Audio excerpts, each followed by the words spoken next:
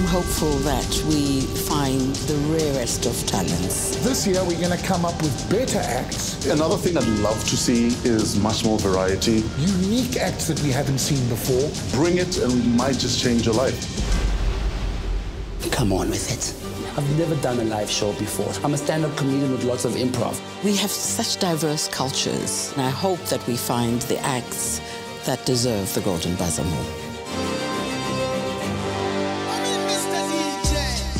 Fresh is honest. Scary. Biceps, tattoos, freaky laugh. We're from entirely different genres, the three judges. I hope you guys are ready for Jamie, because I'm not. I'm incredibly dedicated to the craft of acting. That's something we've lacked. Somebody who understands the arts as much as he does. Mantwala, don't mess with her. I know how to find and spot people that are talented. Everyone can sing, everyone can dance, but I think there's a way in which we do it that makes it authentically South African. This is reality TV and it's the biggest reality talent show in the world.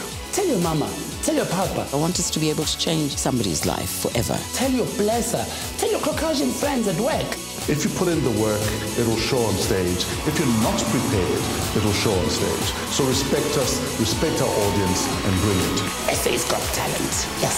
South Africa's Got Talent. Coming soon, only on E!